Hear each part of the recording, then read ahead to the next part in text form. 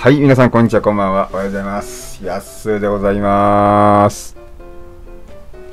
白血病と病生活の気晴らしにね、自宅から動画を配信していきます。でこの動画でね、僕みたいに白血病がになってしまったたくさんの患者さん、そしてそのご家族、お友達が元気になってまいりますように頑張っていきます。そして皆さん、この動画配信のきっかけにですね、ぜひ、献血骨髄バンクにご協力ください。皆様の血液が必要です。日本全国、世界中で YouTube を見ている皆様、どうぞよろしくお願いします。はい、皆さん、メリークリスマスということでね、えー、まあ、クリスマスイブでございますけども、まあ、今日はですね、まあ、病気が原因で太ってしまってですね、悪玉コレステロール、まあ、中性脂肪、高血圧にね、悩んでる人が痩せた食べ方についてお話しします。まあ、僕のことなんですけども、ほんでね、まあ、その病気が原因でと言ってますけども、まあ、病気じゃない人でも使える内容になってますのでね、ぜひ最後まで聞いてください。まず人がですね、何をして太ってしまって、悪玉コレステロールと中性脂肪と、ね、まあ、血圧のがね、上がってしまうのかはね、知ってますかね。答えは簡単です。食べ過ぎです。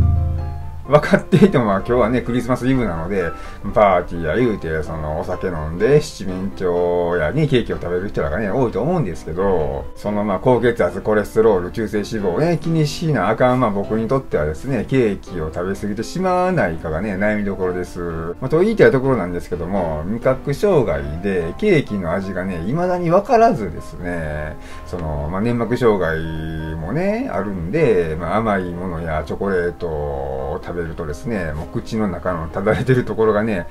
痛くなって、まあ、ほんで歯が、まあ、ズキズキ痛むのでね、まあ、食べようとせん限り悩むことはありません。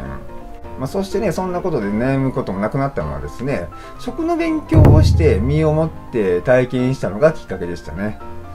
まあ、食の勉強をね、11月の頭から始めて、かれこれ1ヶ月以上になりますけども、もうすぐ2ヶ月か、になりますけどね、だいたい2キロから2.5キロほどね、減りました、体重が。もうこれはね、あのー、僕の努力の賜物やと思います。もう自分で自分を褒めてあげたいですね。で、まあ今まではね、1キロ痩せたのをね、キープしてたんですけども、実は今回ちょっとね、食べ方にね、変化をね、加えたんですよ。夜のご飯を抜いてみました。夜ご飯の、えお米、え、夜のご飯を抜いてみましたよね。夜のご飯の時のお米を抜いてみました。それでもちゃんとおかず食べてて満足できるように食べてたんで、まあ物足りない感じはしてませんでしたね。うん。で、それで最後の1週間だけで、その、まあ翌朝、その日のその日の翌朝には以前よりも2キロほど下がってる状態をね、この1週間はね、ずっとキープ、こっちがキープしてますね。まあ、結局ね、食べ過ぎてたんでしょうね。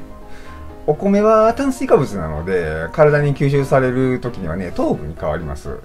糖分は脳みそね、脳に大切な栄養素なので、必ず取らなあきません。まあ朝でしょ昼でしょこの2回にね、お米をしっかり食べているので、全く食べてないわけではないのでね、別に問題ございません。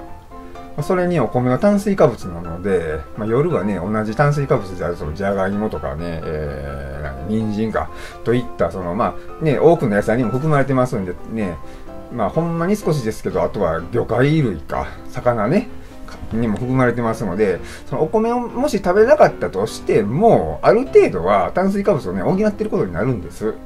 まあ、世の中にはね、その炭水化物抜きダイエットっていうんですか、糖質制限というものありますけどね、まあ、僕が制限されているものはっていうのは、生もの、漬物、アルコールだけなので、ね、その他それやのにもう、糖質まで制限されたですよ。たまったもんじゃないですよね。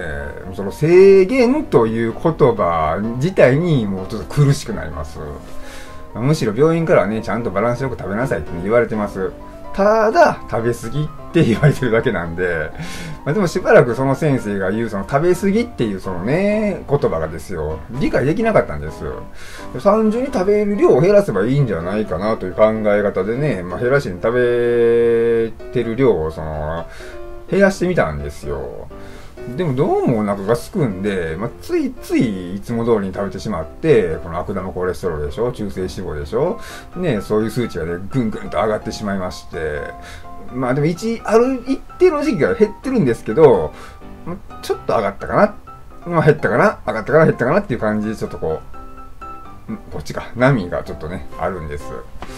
ねその病院からはね、もうお肉やお米ばっかり食べてませんか？とか、まあ、それと同じぐらい野菜を食べなさいよ。ってね、散々言われてきましたけども、言われてますけども、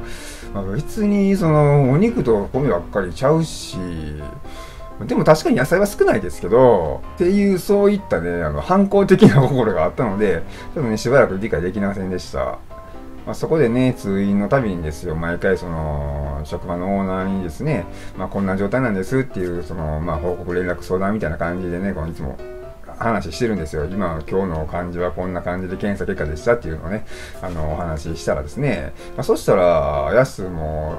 あれやん、食の勉強したらええやんってね、こう言ってもらえてですね、それをきっかけに、その食べ物の食べ方か、食べ方の勉強をしようと思ったんですよ。まあまだ実験段階ではありますけども、もう食べ方の順番をね、考えるだけでね、僕は今のところ体重が無理せずに下がってきております。まあそのやり方というのはですね、朝と昼を多く食べて、夜は少なく食べるというね。でそしてそのやり方に付け加えた、え夜はお米を食べないというやり方です。ね、まあ食べてもいいんですよ。でもね、ちょっと食べんとこかなっていう感じでやってます。まあ、毎日の食べ方としてこれをしばらく続けていく予定です。